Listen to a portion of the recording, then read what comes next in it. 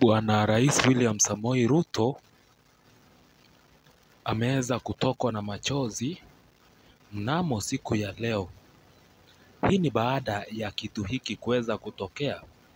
Kumbuka niliweza kufahamisha siku kama nne zilizoweza kupita na nikakuweza kukujuza kuwa Rais Ruto alikuwa amesafiri. Alikuwa amesafiri kutoka nchi ya Kenya kuelekea nchi za jirani. Moja ikiwa nchi ya Tanzania iliyokuwa ikiadhimisha siku yao ya Madaraka Day. Nchi nyingine ni ya Zimbabwe mtazamaji, ambayo pia ilikuwa ikiadhimisha or he went there for a state visit. Ruto sasa ameweza kupigwa na kilio kikubwa baada ya maafa kuendelea kukumba Wakenya.